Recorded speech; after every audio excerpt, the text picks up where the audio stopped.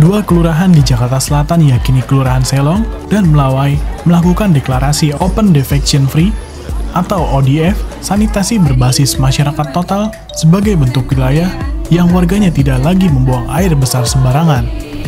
Acara tersebut diresmikan oleh Wali Kota Jakarta Selatan Tri Kurniadi didampingi Camat Kebaran Baru Aroma Nimbang, PLT Kasudin Kesehatan Jakarta Selatan Iwan Kurniawan, serta instansi terkait lainnya.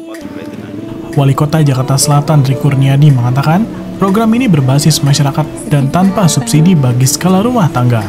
Tujuannya adalah, menurut Tri Kurniadi, untuk mencapai kondisi sanitasi total dengan mengubah perilaku higienis sanitasi melalui pemberdayaan masyarakat.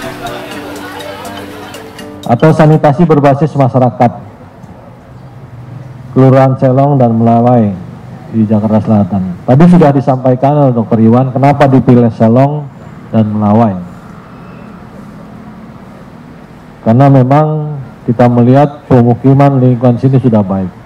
Namun demikian juga mungkin di dalam buang sampahnya yang belum mungkin. Ya. Ya, ini yang terus harus kita giatkan di dua kelurahan ini buang sampah kotoran yang pakai apa namanya pampers ya pampersnya itu. Ya. Bapak Ibu yang saya hormati, penyelenggaraan sanitasi berbasis masyarakat berpedoman pada keputusan Menteri Kesehatan. Nomor 3 tahun 2014 tentang STBM. Program nasional STBM merupakan pendekatan untuk merubah perilaku.